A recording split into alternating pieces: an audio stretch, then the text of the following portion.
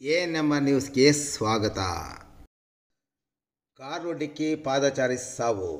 ಚಿಂತಾಮಣಿ ನಗರದ ಹೊರವಲಯದ ಕಡಪ ಬೆಂಗಳೂರು ರಾಜ್ಯ ಹೆದ್ದಾರಿ ರಸ್ತೆಯಲ್ಲಿ ಕುಟ್ರಳ್ಳಿ ಕ್ರಾಸ್ ಕಡೆ ನಡೆದುಕೊಂಡು ಹೋಗುತ್ತಿದ್ದ ಪಾದಚಾರಿಗೆ ಮಾಡಕೆರೆ ಕ್ರಾಸ್ ಕಡೆಯಿಂದ ಬಂದ ನೆರೆಯ ಆಂಧ್ರಪ್ರದೇಶಕ್ಕೆ ಸೇರಿದ ಕಾರು ಡಿಕ್ಕಿ ಹೊಡೆದ ಪರಿಣಾಮ ಪಾದಚಾರಿ ತೀವ್ರ ಗಾಯಗೊಂಡು ಮೃತಪಟ್ಟಿರುವ ಘಟನೆ ಭಾನುವಾರ ರಾತ್ರಿ ನಡೆದಿದೆ.